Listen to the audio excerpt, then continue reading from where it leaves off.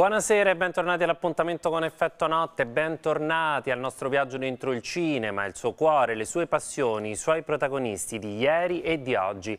Tra poco ricorderemo il cinema ma anche gli amori di un attore indimenticabile, Jean-Paul Belmondo, che è anche l'immagine del nuovo Festival di Cannes. E poi canteremo e magari chissà balleremo anche con gli Abba che tornano insieme dopo 35 anni in attesa di scoprire anche al cinema il nuovo capitolo di Mamma Mia che è ispirato appunto alla loro musica. Ma subito iniziamo con la nostra intervista confidenziale che oggi ha per protagonisti alcuni dei migliori attori del nostro cinema e un regista premio Oscar. Sto parlando di Paolo Sorrentino e del cast del suo nuovo film, loro due, Tony Servillo ed Elena Sofia Ricci che sono Silvio Berlusconi e Veronica Lario, ma anche Kasia Smutniak, Fabrizio Bentivoglio e Riccardo Scamarcio. In scena, ormai l'abbiamo capito, c'è Berlusconi ma anche la fine del suo rapporto con la moglie Veronica. È un'Italia che in qualche modo è un po' tutti noi, un'Italia in macerie macerie come quelle del terremoto dell'Aquila, a partire dalle quali tocca a noi uomini ricostruire. Un, insomma, un racconto che ha molto da dire anche all'Italia di oggi.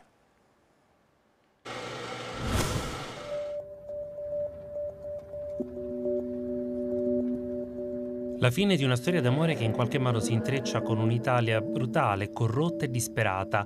Loro due cambia marcia e si concentra sulla fine del matrimonio di Silvio Berlusconi con la moglie Veronica Lario. Il dialogo rivelatore tra i due è uno dei momenti più emozionanti del film.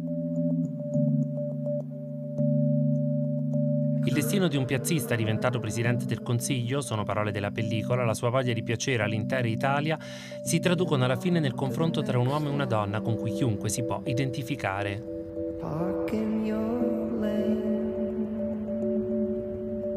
Se diciamo che questo è un film sulla solitudine, che tra l'altro mi sembra uno dei tratti del tuo cinema, ma io ce l'ho trovata tanto dentro questa storia, diciamo una cosa giusta o una cosa sbagliata? La dimensione della solitudine è qualcosa che noi forse eh, difficilmente associamo a un personaggio come Silvio Berlusconi. Invece, mh, mm, secondo me, esiste. Sono i personaggi che hanno tante debolezze, la paura della solitudine è una di quelle. E, ehm, nel mio caso eh, Kira è, è, una donna che è in qualche modo arrivata in quel mondo lì ad avere un certo potere eh, però il sentimento eh, che la guida è l'amore, è l'amore verso un uomo eh, che in qualche modo anche per lei è irraggiungibile. Silvio, ma non hai capito perché sono tornata.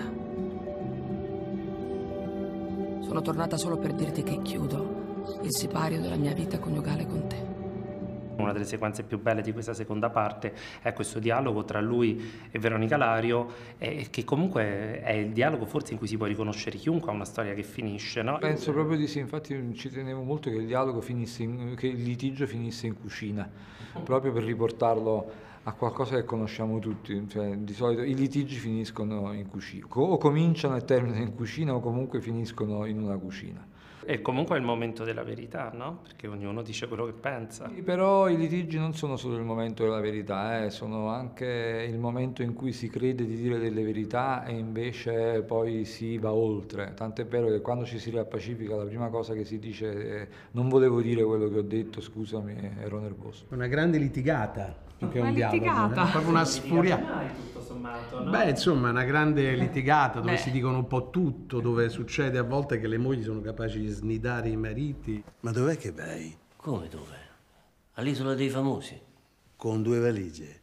Ma lì non si può portare neanche lo spazzolino. Questa è la potenza del cinema di Sorrentino, un po' tutto. Lui sempre ci getta nel mare degli interrogativi, no? ci, eh, racconta dei personaggi, dei film, delle immagini, dei simboli, degli archetipi che ci riguardano un po' tutti e se ti è rimasto un briciolo di intelligenza emotiva ancora in atto e, e viva, non puoi che farti qualche domanda. Paolo, non avrebbe senso un, museo su di me?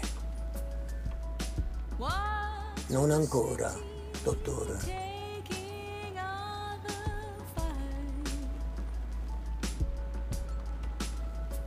Sei tu, Dio. Loro due è un film sulla solitudine per nulla compiacente nei confronti di Berlusconi, ma si concentra anche sulle macerie di un'Italia ben espresse dal terremoto dell'Aquila.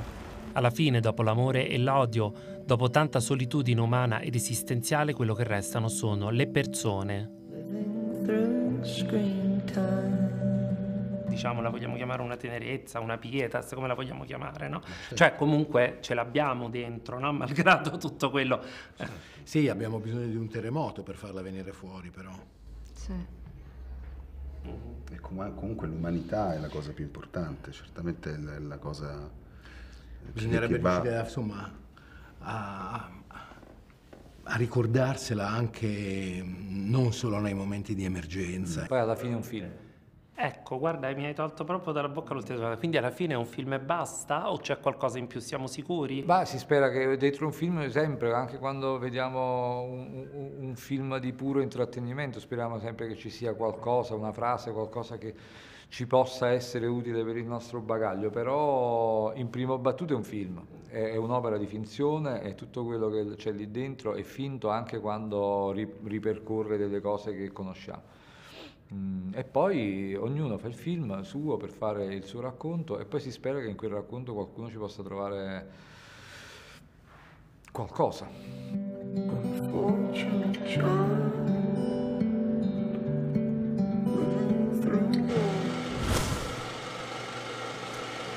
E insomma così finalmente il mondo sorrentiniano dopo tanti segreti eh, è stato svelato. Una cosa però si era capita da un po' ed è che il film non sarebbe andato al Festival di Cannes. I motivi non ce li chiediamo anche perché dovremmo trasformarci un po' in investigatori privati, però una cosa è certa, Sorrentino e il suo cast si perderanno, ahimè, la mitica Monte de Marche, il tappeto rosso che racconteremo nelle prossime settimane e soprattutto non potranno vedere l'immagine dell'indimenticabile Jean-Paul Belmondo che quest'anno rappresenta l'edizione numero 71 del festival più famoso del mondo.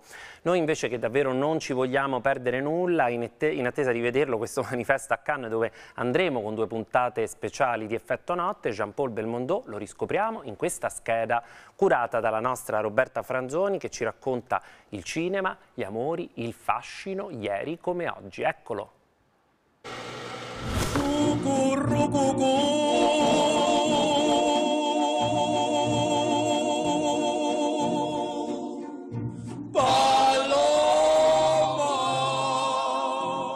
Voglio una vita spericolata, di quelle vite fatte così.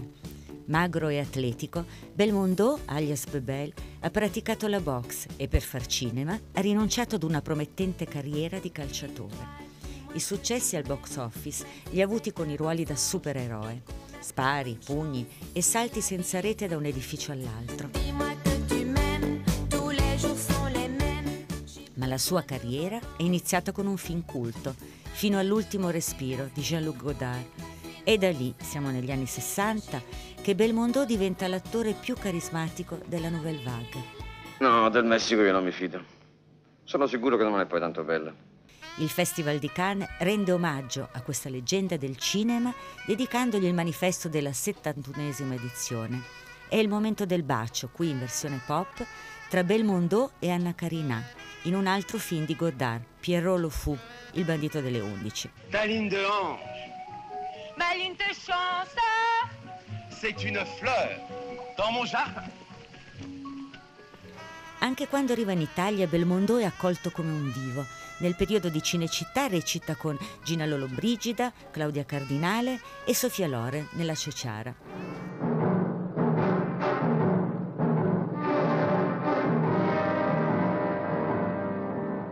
Quel cognome da Latin Rover, preso dalla famiglia paterna piemontese, con quella faccia da simpatica canaglia, è diventato un vero sex symbol che ha fatto innamorare intere generazioni e anche parecchie donne.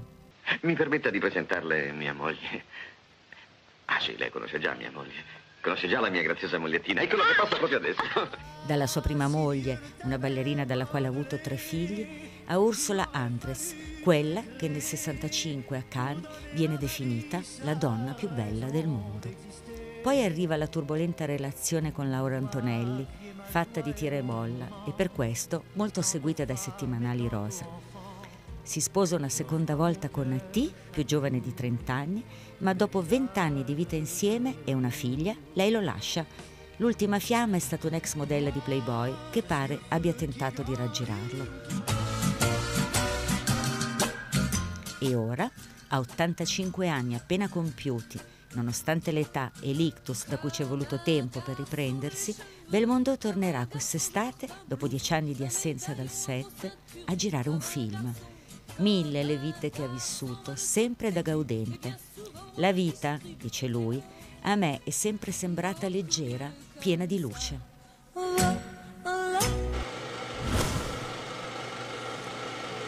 Insomma mi sa che ha davvero ragione lui, da un attore di ieri a uno di oggi, Joaquin Phoenix, che se la deve vedere con le storie e i problemi del nostro tempo. Lo ricordiamo nel film Il Gladiatore, ma i suoi personaggi sono spesso complessi e tormentati, come quello che interpreta in A Beautiful Day, per il quale ha vinto il premio all'ultimo Festival di Cannes, andandolo a ritirare, pensate, in scarpe da ginnastica, tra poco vedremo le immagini. Un attore di razza che prende e perde peso secondo i ruoli e che se qualche volta appare sopra le righe, magari un po' stralunato, ha le sue buone ragioni, perché lui nella vita ne ha viste e anche un bel po'. Guardate.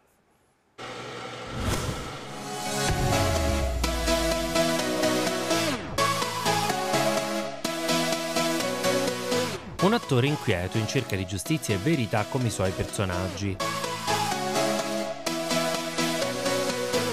Nel nuovo film di Lynn Ramsey, per il quale ha vinto a Cannes il premio meritatissimo come miglior attore e che si intitola ironicamente A Beautiful Day, una bella giornata, Joaquin Phoenix è un personaggio misterioso, forse un veterano, qualcuno che comunque deve aver subito qualcosa di tremendo da bambino e che da adulto si occupa di salvare delle giovanissime finite nelle mani degli orchi, insomma adolescenti sfruttate come baby prostitute. È dentro? Sicurezza, quanti sono? E lo fa a modo suo, a colpi di martello, ma senza rinunciare a un rapporto di tenerezza e in qualche modo di fratellanza con la protagonista del film. Un'interpretazione spiazzante come lui, come Phoenix, che non a caso a Cannes lo scorso anno ritirò il premio in scarpe da ginnastica, precisando di non aspettarsi di vincerlo. Verità o finzione, anticonformismo o senso della misura, chi lo sa?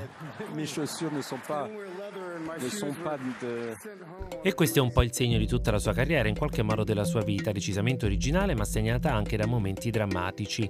Cresciuto in una famiglia hippie, Bottom è il vero cognome, cinque fratelli, molti nel mondo dello spettacolo, i genitori hanno fatto parte della setta dei bambini di Dio, restandone poi delusi e decidendo quindi di cambiare il cognome in Phoenix, in segno di rinascita come l'araba fenice. Joaquin Phoenix è il fratello dell'indimenticato River Phoenix, da Stand By Me a Mosquito Coast, da Indiana Jones a Belli e Dannati, scomparso ad appena 23 anni per un'overdose di droghe al Viper Room di Hollywood. Una notte drammatica con un ragazzo giovanissimo che perde la vita sul marciapiede davanti agli occhi del fratello. Quella di Joaquin Phoenix è una carriera di successi, da, da morire, di Gas Sant, al ruolo iconico di Commodo, forse il personaggio più conosciuto tra quelli che ha interpretato nel film Il Gladiatore. Mi hanno detto che tuo figlio gridava come una femminuccia, mentre lo inchiodavano alla croce. E tua moglie gemeva come una puttana, mentre la violentavano. Ancora. E ancora. E ancora.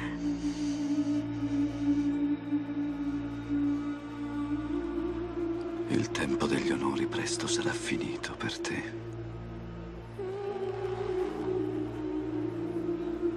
Principe.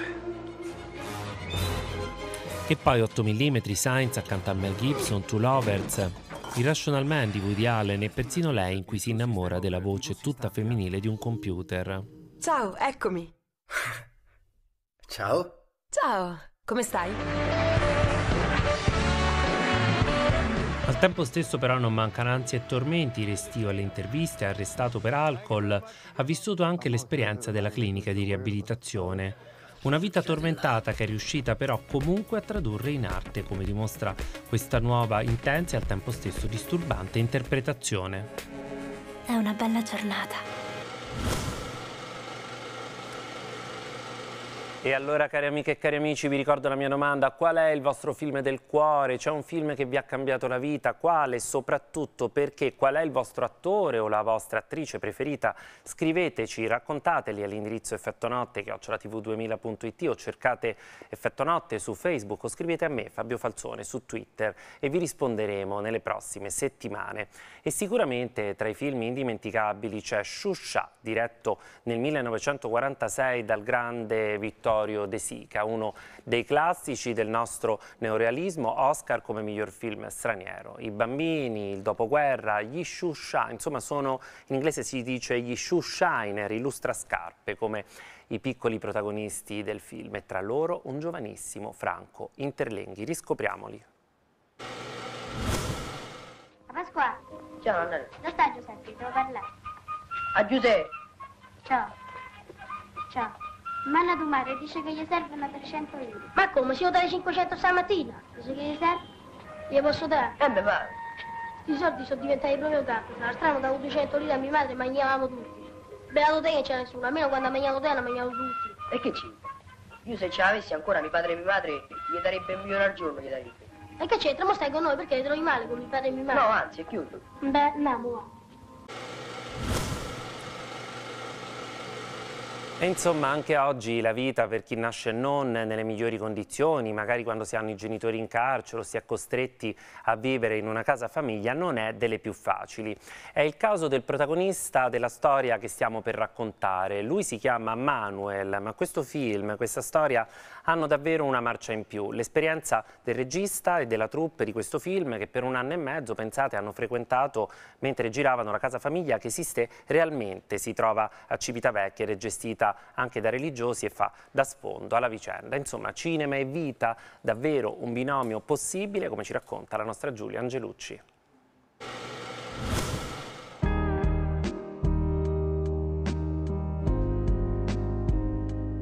Storico collaboratore dei Tiro Mancino, il regista Dario Albertini è un premiato documentarista indipendente e questo è il suo primo film di finzione presentato all'ultimo Festival di Venezia. Manuel nasce da un lavoro precedente, il documentario La Repubblica dei Ragazzi, nome della grande casa famiglia creata a Civitavecchia che dal 1945 aiuta giovani privi di sostegno familiare. Una struttura nata nell'immediato dopoguerra che negli anni si è evoluta.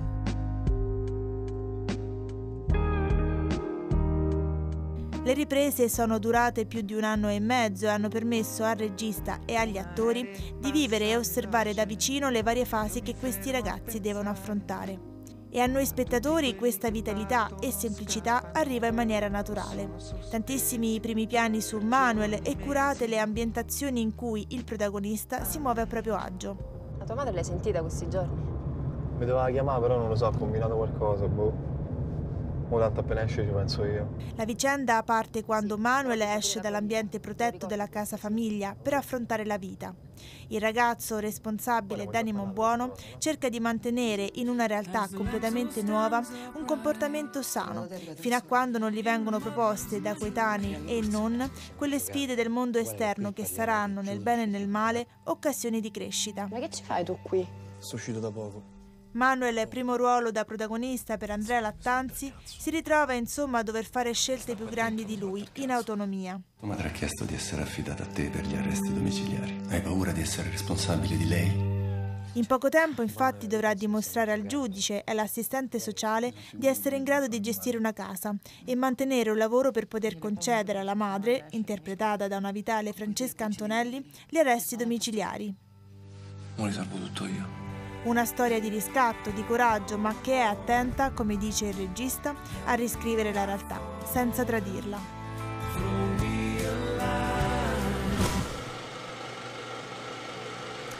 E adesso sorridiamo e anzi prepariamoci a cantare e magari chissà a ballare perché dopo 35 anni tornano Yabba, due nuovi brani entro la fine dell'anno, ormai lo sapete, il web è in subbuglio da giorni, Yabba anche alla loro verde età sono un fenomeno non solo musicale ma anche di costume, film, spettacoli teatrali sono ispirati al loro mondo come il fortunatissimo Mamma Mia di cui stiamo per scoprire in anteprima le immagini del nuovo capitolo. E una protagonista molto vinta vintage che forse non immagineremmo di trovare. Come si dice? Mamma mia, io non lo so dire, guardate, guardate, vediamolo.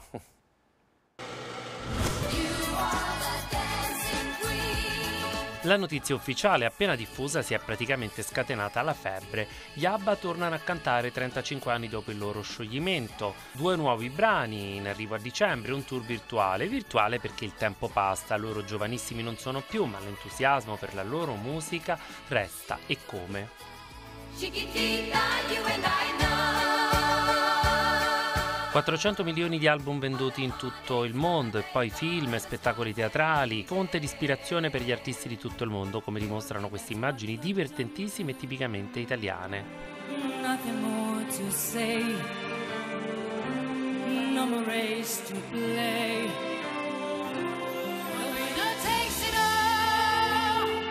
Insomma, gli ABBA sono gli ABBA un gruppo il cui nome nasce proprio dalle iniziali dei componenti Agneta, Benny, Birjam, Frida.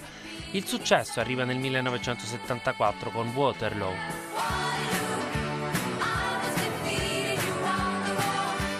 Nel 75 la volta di Mamma Mia, ma c'è di più, ogni brano è un evento. The Dancing Queen viene creato nel corso di una serata in onore della futura regina di Svezia.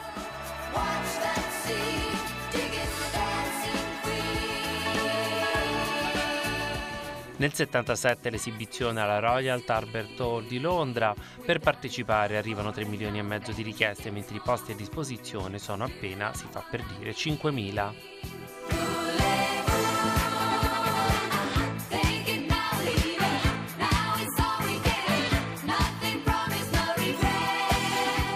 Nel 1982 il gruppo si scioglie per ragioni anche personali ma in attesa del tour virtuale che sarà trasmesso, pensate, anche dalla BBC, gli ABBA e la loro musica sono al centro anche del nuovo capitolo di Mamma Mia, protagonista ancora una volta Amanda Sanford e Mary Streep, oltre allo scatenato gruppo di personaggi che tutto il mondo ha imparato ad amare.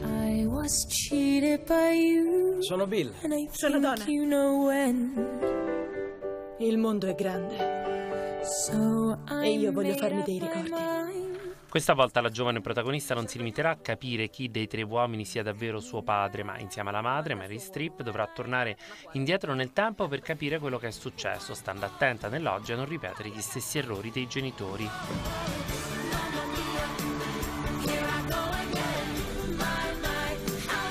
Una cosa è certa, la musica la farà da padrone, ci sarà anche una sorpresa musicale e non solo, anche se da queste prime immagini è un po' presto per capirlo. A interpretare la nonna di Amanda Selfrid ci sarà niente po' di meno che la mitica Cher.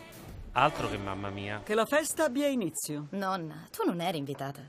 Sono le feste migliori, ragazzina.